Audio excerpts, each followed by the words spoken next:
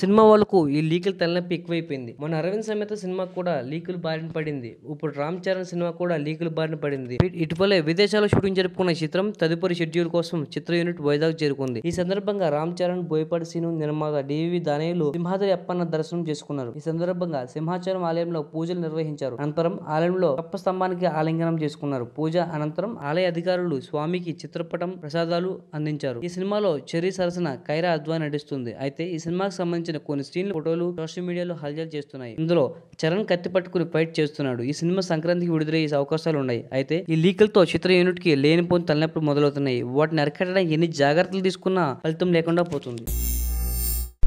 Thanks for watching. For more interesting updates, don't forget to subscribe Filmy